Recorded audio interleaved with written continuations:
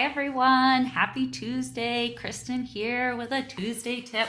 So, this one comes out of one of my favorite books. Shout out for Observe, Collect, Draw. And I just want to read you a little bit. For those of you that aren't familiar with this, this comes out of the amazing data visualizers who did the Dear Data project, uh, Giorgia Lupi and Stephanie Posavec.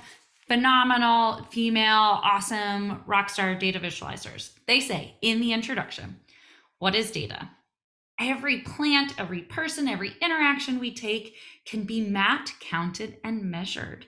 And these measurements can be what we call data. Once you know how to find these invisible numbers or words or images, I would add, you can begin to see data everywhere and in everything.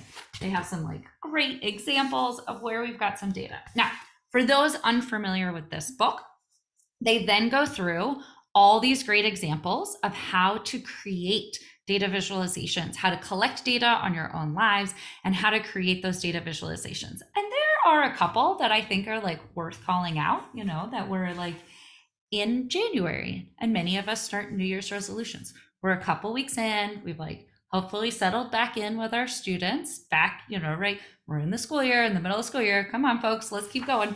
So, one of them is number 30 for a way to visualize how we start and keep new a new habit. So, thinking about um, how to collect that how to collect that data.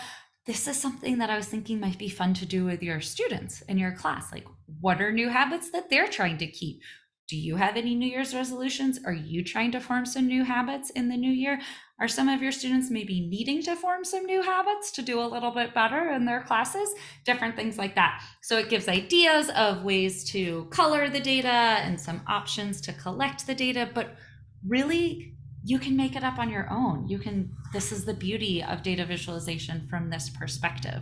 You decide. Another one that I thought was fun is the your weather mood. So collecting data on sort of like what's going on with the weather. Is it hot or cold?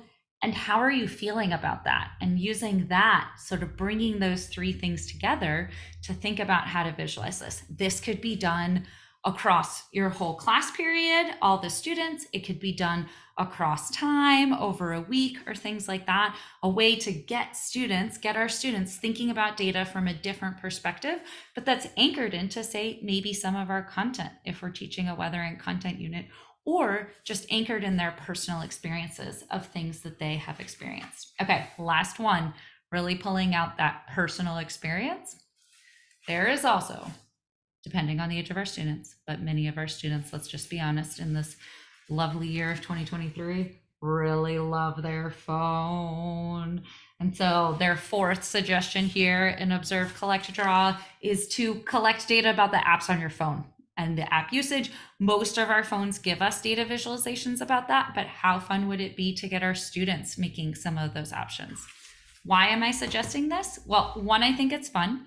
But two, it's a low floor, high ceiling way to get kids practicing data that can build their data skills and build their confidence in working with data. Hope this is helpful. Would love to hear your thoughts and what you're doing in your classroom, getting your students working with data. Have a good rest of your day. Bye, y'all.